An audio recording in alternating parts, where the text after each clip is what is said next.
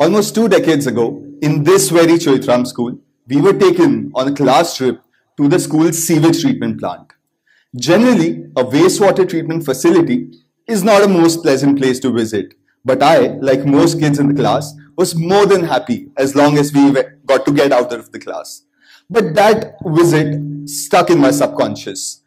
I moved on with my life. I graduated from IIT Bombay with a BTech in civil engineering uh, I worked with the top, uh, some top civil engineering and real estate firms before joining a top real estate startup where I got the opportunity to hire, train, lead a team of 700 people at the tender age of 24.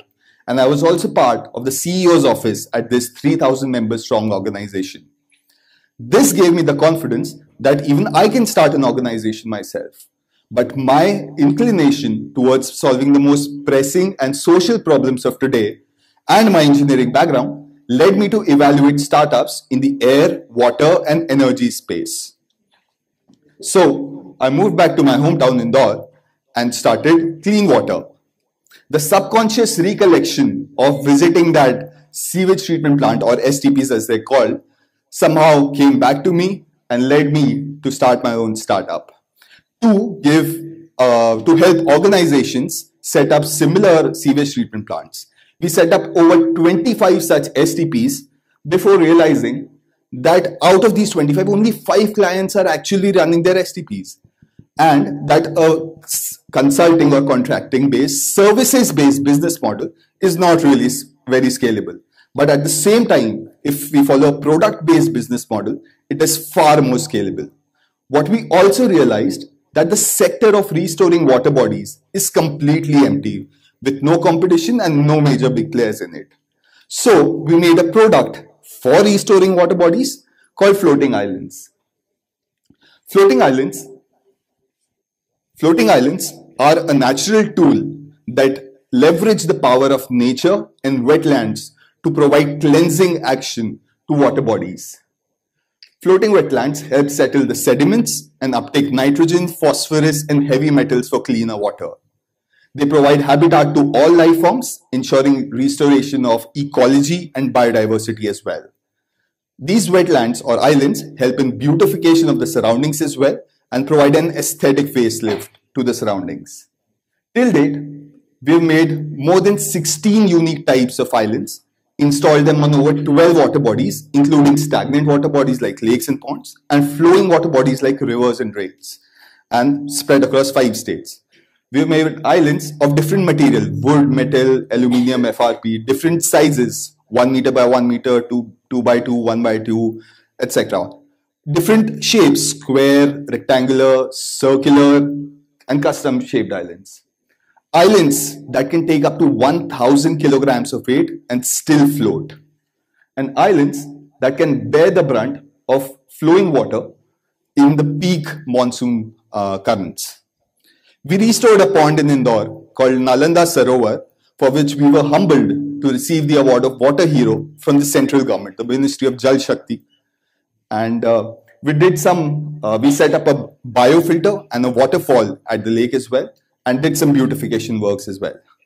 And all of this was going pretty good.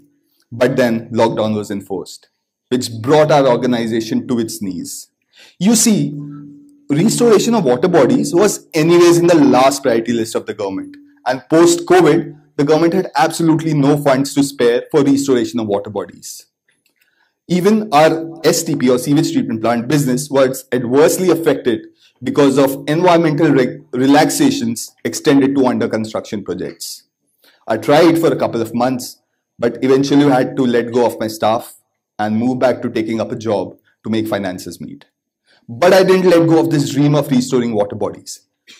About a year ago, uh, me and my wife thought that we should take up restoration of Piplihana Lake in Indore as part of a marriage.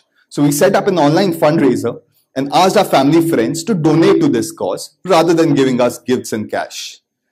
With the funds received, we were able to set up five floating wetlands at the lake which performed tremendously well. This is actually me standing on top of one of our islands. Thank you. With two years since the start of COVID, uh, things began to change and come back to normalcy. We received a grant from the central government, Ministry of Housing and Urban Affairs, under AMRUT 2.0 mission, by which we set up eight more wetlands and four floating aerators to ensure uh, restoration of the lake. These aerators provide oxygen in the water to improve water quality and aid aquatic life. We are also dosing microbacteria at the lake for complete pollutant removal. The biodiversity at the lake also seems to be thriving. But the entire COVID chapter uh, taught me a lesson that the government does not have enough funds to restore the millions of water bodies in the coming 10 to 15 years. And that a global geopolitical event might again come in the future, which leaves the government with no funds to spare for water bodies. And we as a business need to be ready for such an event in the future. But we thought to ourselves, is restoration of water bodies really possible without taking funds from the government, right? because individuals and businesses don't contribute to water bodies, right? It's the government's responsibility. But after much brainstorming, we have come up with a model uh, through which we can restore water bodies without taking any funds from the government by a PPP model or a public-private partnership model. You might have seen examples of a PPP model around you with highways and toll booths. So when government wants to build highways and does not have the money, a private contractor comes in, puts in money from his own pocket, builds the highways, and then recovers and maintains it in the coming years, and then recovers his investment over a certain period of years. What if we could do something similar for water bodies? So this is now what we're proposing to the government that we'll come in and solve all of the problems related to water bodies while keeping an environment first approach and satisfying all stakeholders like government, fishermen, citizens, lakeside communities, etc., and without taking funds from the government. All we need to do is take these water bodies on lease from the government, put in investment, restore it, and then the revenue is going to flow in from consumers and businesses. So this traditional B2G segment is now converted into a B2C or B2B segment, and therefore it becomes much more investable from an investor's point of view as well. How we're going about restoring a lake is through floating wetlands, dosing bacterial solutions and setting up aerators, and then generating revenue from multiple streams from the lake such as boating, fishing, tourism, uh, setting up advertisements around the wetland, setting up a nursery or a hydroponics unit at the lake in order to recover our investment. This will ensure that the water bodies, which are supposed to be an asset for everyone, and which have turned into a liability recently will turn back into an asset for everyone. Because right now, the government has to spend a budget to restore the water bodies. But what if we can restore the water body without taking any funds from the government and on the contrary, sharing some revenue with them? This will ensure this asset turns into a liability.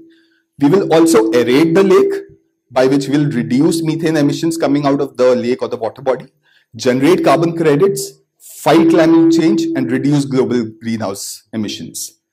We'll keep the water body clean, thereby uh, reducing, uh, thereby ensuring that the groundwater also don't get, doesn't get polluted. We'll create livelihood and jobs that previously did not exist.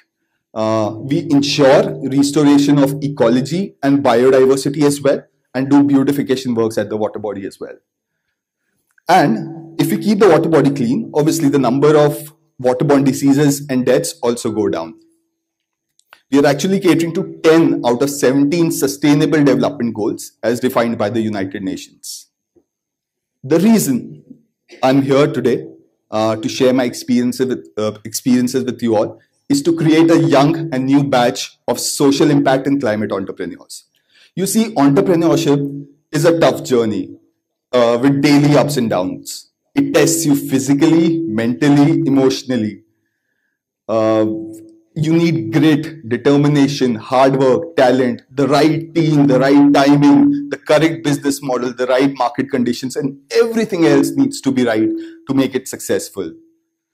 The world needs uh, entrepreneurs like you to step, step up, take control, and drive change.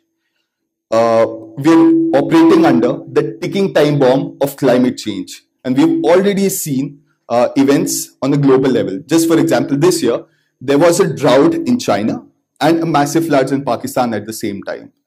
Water security is of utmost importance for us and our nation. The world is actually waiting for you. So more strength to you and Godspeed. Thank you so much.